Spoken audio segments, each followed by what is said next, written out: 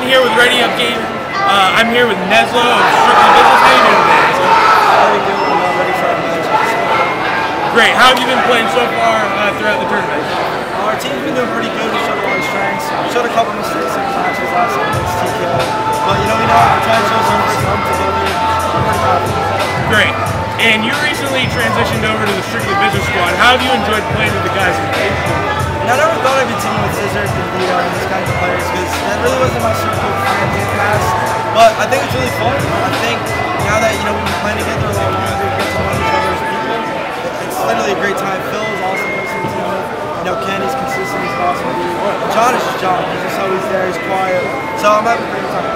Great. And Advanced Warfare has a lot of new mechanics. How have you transitioned into this game? I love it. I love the movement. I love you know the guns, everything. It's just it's, this game's all about positioning I'm a smarter player than for me. I like it.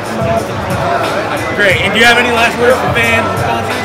I just, you know, thanks for the support. Thank you to Scuff Gaming, Gamma, all of our sponsors, Apple Media. It's just, look at this event. It's pretty crazy. And uh, it's the best, the best feeling. What? Everyone come out here, supporting people that are my new team. It's a great feeling. So thank you. Great. Thank you so much,